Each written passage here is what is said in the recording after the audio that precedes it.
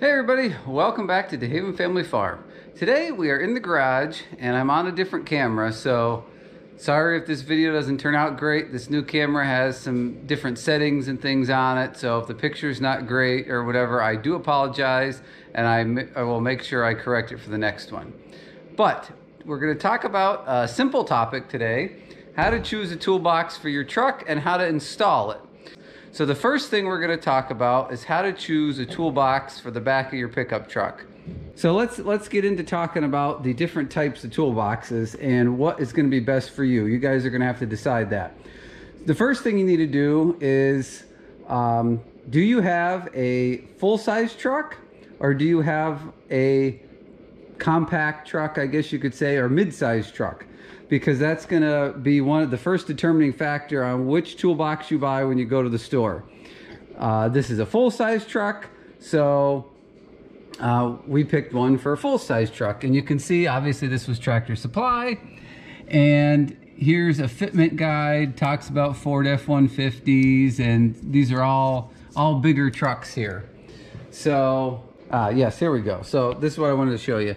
Fits full-size trucks. So whether you buy it online or you buy it at a tractor supply or an auto parts store, you want to make sure you get one for the appropriate truck. So again, since mine full size, we got a full size box.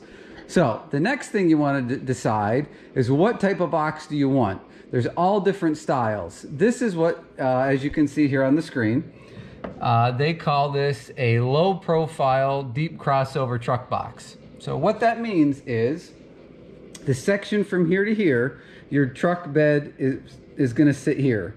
So everything from here up is gonna stick up above the box here like this. So low profile means that you're not gonna have very much sticking up and probably, you know, every truck's gonna be different, but this truck probably will, the box will barely block any of the bottom of the window. Um, so it's not going to be a big deal. And that's why I like the low profiles because they don't block your window and your view out the window. Uh, with that though, you do lose, you know, everything has uh, good and bad. So what that does is it cuts down on your overall storage capacity. So I got the deep box so that I did not lose storage capacity. Uh, what that will mean though is with this being deep, it means it's going to come down pretty far in the box and there will not be a huge gap. There'll be a little gap and you'll see at the end of the video. Um, there's not going to be a big gap underneath the box from the box to the bed. So that means if you haul a lot of wood, two by fours, things on a regular basis, um, some hand tools, weed whackers, different things like that, you're not going to have enough room to shove those items underneath this toolbox and take uh, the use the full potential of your bed. So the next thing you could do would be to get a low profile with a shallow box, which uh, I believe they're from here down. I was measuring yesterday when I picked this one out was about 10 inches. So you gain a tremendous amount of bed space where you can work under the box, but you start to lose a lot of storage space. So that's a decision that you have to make for yourself, what you're going to be doing with the truck. Um, I don't care about having all that space underneath. I wanted the biggest box I could get that didn't block my window, and that's why I chose this one. Now, if you still would like to have a bigger box and you want that clearance, you can buy a standard profile top, not the low profile. You can buy a standard profile, which would come from here up. Let me make sure I'm in the screen. Okay. Up to about here. So you gain a bunch of your storage space, but you gain it on the top rather than the bottom. So it gives you that bed clearance and it kind of moves it up to the top.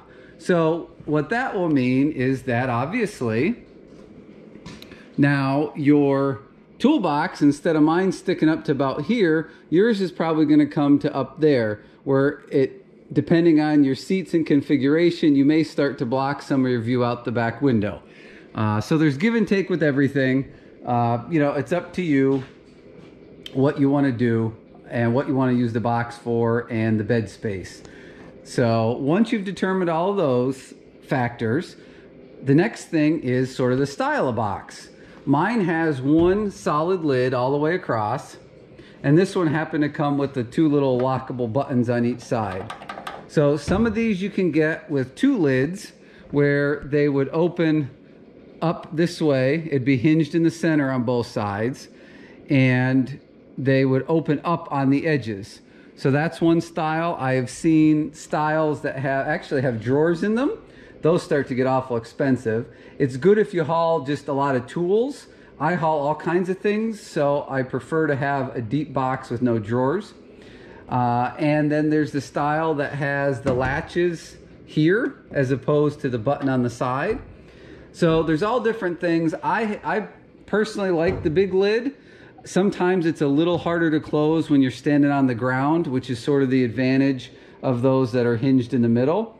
However, if you have wider objects you want to put in there, like small hand tools and things like that, this is going to open up all the way so the top of your box is completely open. If you have one that hinges in the middle, you're going to have a piece in the middle where the hinges mount and it's going to block the ability to put things straight in from the top. Okay, so now let's talk about a few other things. Let's talk about the quality of the box. So again, using Tractor Supply because this is where I bought it. I'm sure other manufacturers might have similar situations. Tractor Supply has three different uh, ratings, I guess you could say, of toolboxes.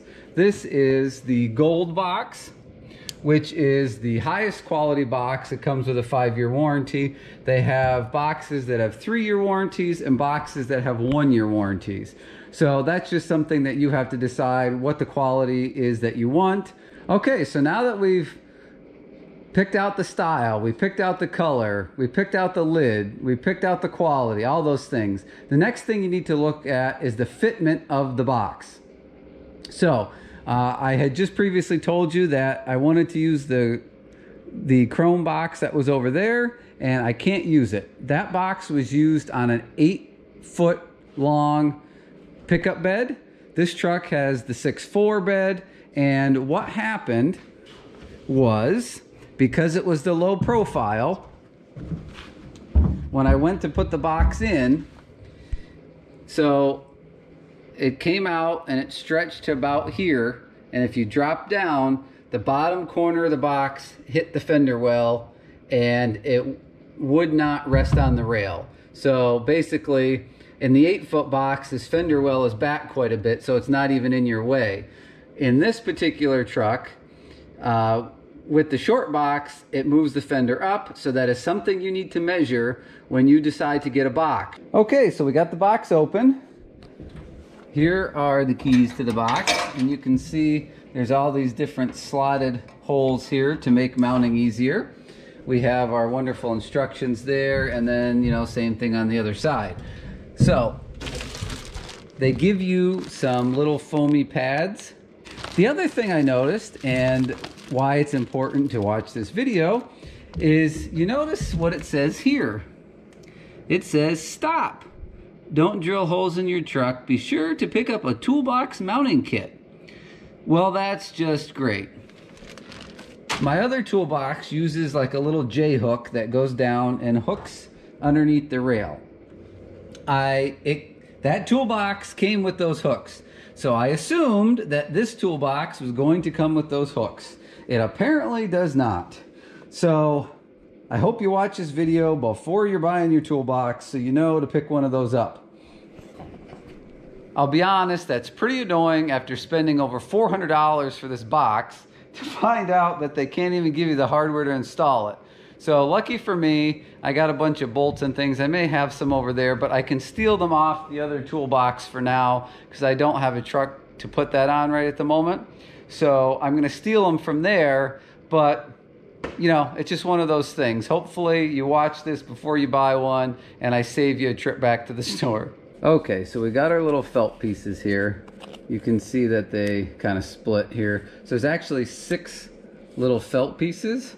So what we're gonna do is we'll, we'll take those off after and you can mount underneath. You can put one under there, under there, and under there on each side. That's three on each side. We have six.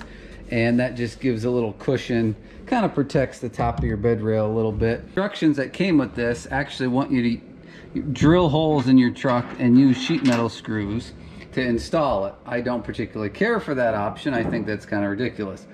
This is what came with the other toolbox. Hang on my screen went dark. There we go. These came with the other toolbox so basically this would come up through here we've got I'm sorry we've got um, a nut and some washers to put on. It's actually kind of a tight fit. But then this hooks up underneath here like that. You know, your hook, and then you tighten the box down. All right, we are golden. We got plenty of room here. Um, like I said, the other box was an inch, inch and a quarter deeper and it wouldn't clear, but this one's perfect.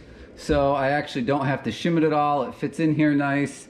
And I mean, you can kind of see even the low profile, it actually blocks a little more of the window than I thought, but it doesn't block any of the usable space because there's a kind of a black trim around the window that comes all the way up to here so you can't see out anyway. So it's still below the usable window. And you know, if you had the one that was not the low profile, you'd be up another three, four inches actually blocking the window there some. So again, just, just something to think about depending on your application. So what I'm gonna do next is I got these, you know, these little foamies that came.